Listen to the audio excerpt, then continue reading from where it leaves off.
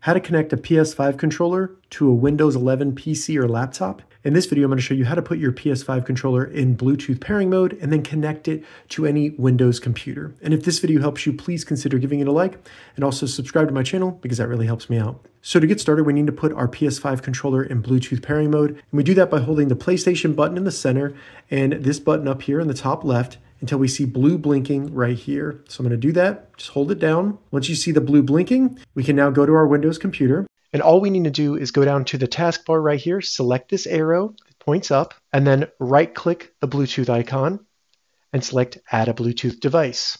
You'll see the Bluetooth settings come up on your Windows 11 PC. Go ahead and select Add Device and then Bluetooth. And now you want to make sure that your PS5 controller is near your computer and that it's still in pairing mode and hasn't connected to another device.